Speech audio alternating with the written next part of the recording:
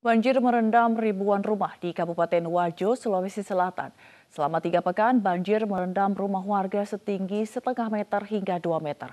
Warga mengharapkan bantuan.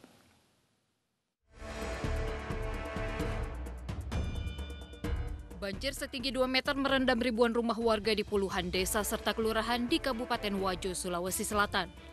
Ketinggian air hampir menyentuh rumah panggung warga. Selain rumah, banjir juga merendam ribuan hektar kebun di 28 desa di Kabupaten Wajo. Lokasi terparah banjir berada di lima kelurahan di Kecamatan Tempe. Warga mengharapkan bantuan karena banjir sudah melanda wilayah mereka selama tiga pekan. Yang pertama itu nak bambu, yang kedua sembako.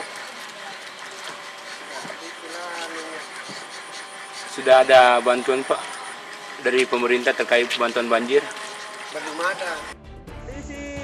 terkini. Banjir yang merendam rumah warga juga terjadi di Bantaeng, Sulawesi Selatan. Banjir yang terjadi secara tiba-tiba terekam kamera amatir warga. Banjir yang datang tiba-tiba membuat warga tidak dapat menyelamatkan harta benda mereka. Beberapa warga meminta pertolongan karena terjebak banjir.